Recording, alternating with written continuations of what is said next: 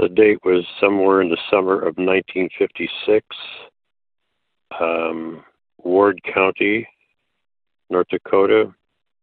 The sighting was one uh, mile east of Silver Bridge.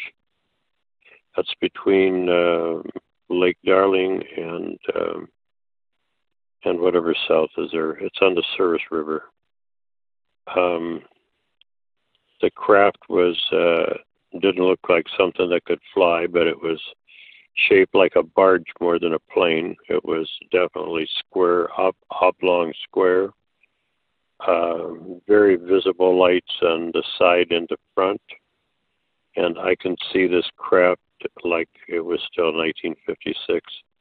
It's something I would never forget as long as I live. I was driving my 1954 Henry J, I think it was a year, cheap little car. And when it flew over, uh, the engine in the car went dead, and the car did not. It just killed the engine. Uh, it did start again after.